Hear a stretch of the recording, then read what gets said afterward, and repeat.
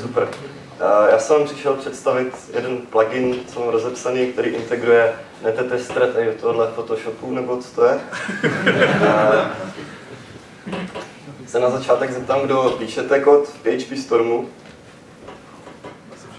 Super, to je spousta lidí. A kdo používáte netetester?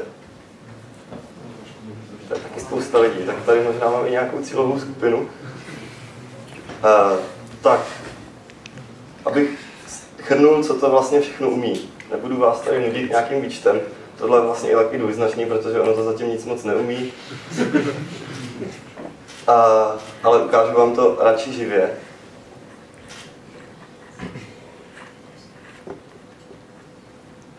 Tak, uh, umí to v první řadě tu věc, že to nabízí takové dialogové okno pro konfiguraci, to, to samé run configuration, co je tam potřeba zadat, stoprocentně ten test scope, což je ten soubor nebo složka z testy a je tam potřeba zadat cesta k samotnému netetestru, což ve většině případů bude v vendor bin tester, pokud instalujete přes Composer. Co se tam dále dá zadat, jsou ty optiony pro netetester. Mm, používá tohle, tohle dialogové okno používá komponenty, které nabízí eh, přímo JetBrains, té IntelliJ platformě, takže to můžete takhle rozkliknout, psát to na víc řádků, ať to je přehlednější. Co je zvlášť zase pro usnadnění, aby se to dalo dohledat takhle ve file systému, tak je ještě to minus C, konfigurační možnost s cestou k PHP ini souboru. No a tyhle ty tři volby jsou potom už pro ten samotný PHP interpreter, který se mimochodem přebírá z nastavení projektu, jak to asi znáte, i pokud spouštíte nějaké věci normálně v CD, takhle přes tohle. No a když to teď pustíme, tak to spustí tenhle ten test runner, kde vidíte, že tam proběhlo nějakých 67 testů, kdyby to nebylo tak malý, tak tam bude i vidět, že jeden failnul a dva se přeskočili, jsou tyhle dva. Zobrazuje to tam výstup z těch testů, stejně tak toho failnutého. Jsou tady i ty, které prošly. No a to je v podstatě zatím všechno, co to umí.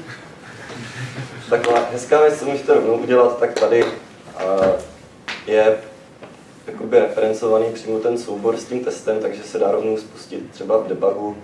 A protože tam už máme nějaký breakpoint, tak se tam rovnou zastaví a můžete přímo z toho test runneru takhle hledat chybu.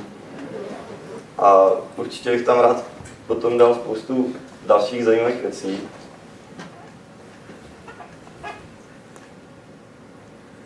Co tady není vidět a co by to taky mělo umět, tak ve chvíli, kdy píšete test casey a píšete i s tou anotací test case, tak aby se spouštěli paralelně, tak on to tady v tom výstupu združí, to znamená, tenhle ten řádek bude ten jeden test case a tady do jednotlivé záznamy pro jednotlivé test metody. To bych tam rád přidal taky, aby se dalo spustit eh, jenom ta jedna test metoda, přímo tady odtud. A stejně tak bych rád přidal, aby se dala vytvořit ta RAM konfigurace přímo pro nějakou složku nebo soubor, taky takhle přes tu kontextovou nabídku, což tady teď je třeba taky jenom pro nějaký spustitelný soubor, nebo možná i PHP unit. To je taková věc, vykradl jsem PHP unit plugin, přiznávám, protože JetBrains má takovou krásnou dokumentaci k té IntelliJ platformě, která skoro neexistuje, takže uh, aspoň mají ten disassembler, že si můžete vykrást ten existující kód. A potom už je to jenom pokus omyl, takže se pomalu vrátím sem. Le apel na vás, já se pokusím, chtěl jsem dneska dopoledne, ale pak jsem spal. Eh, to asi udělám zítra odpoledne. Nebo budu spát. Odpoledne už ne.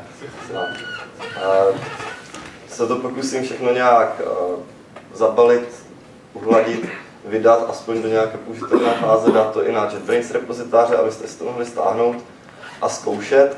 Stejně tak zveřejním repozitář na GitHubu, a pošlu pull request do netetestru, což je další věc. Musel jsem ohromně nechutným způsobem znásilnit netetester, tak aby to umělo právě združovat v tom výstupu podle test caseů, protože tím, že netetester si to vlastně jenom zpracuje a pak to pouští asynchronně jenom s nějakým metod, argumentem, tak se do toho hrozně špatně vstupuje, takže to pak budu rád.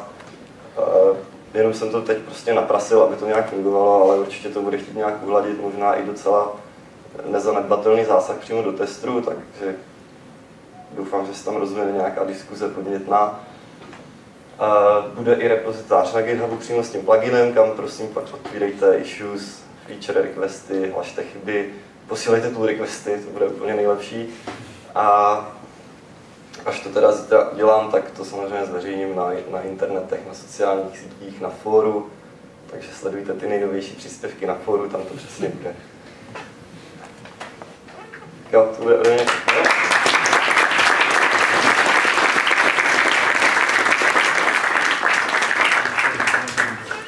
A jsem z dotazy. Já mám dotaz, plánuješ přidat takovou tu věc, když mám otevřený test, třeba píšu test, tak abych si mohl ten daný test jako rovnou nějak něco, něco rovnou spustit. Jak je voucher? Voucher ani ne, spíš jako teď mi to spust, protože jako voucher si můžu spustit jako v komandu. Když ten voucher jako s tím taky dál. Já, já jsem uh, o tomhle taky přemýšlel, o těchhle, uh, tak pro záznam dotaz byl, pokud mám otevřený třeba nějaký soubor s testem, tak jak si ho rovnou spustit. To jsem právě chtěl přidat přes tu kontextovou nabídku, ale na druhou stranu si říkám, jak moc je to potřeba, protože tím, že uh, ty nete, test, testy se dají spustit sami o sobě, tak si je prostě spustíš a nemá už tam tolik přidanou hodnotu, to, že to máš takhle v nějakém hezkém výstupu. Tím spíš, když to chceš třeba oddebugovat. Jakože dá právě začít random. Je. A to tam je teď, jo? No, to nevím, to jsem nikdy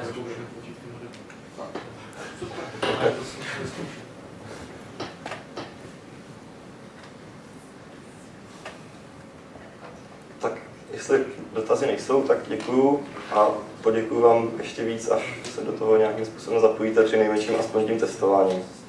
Díky.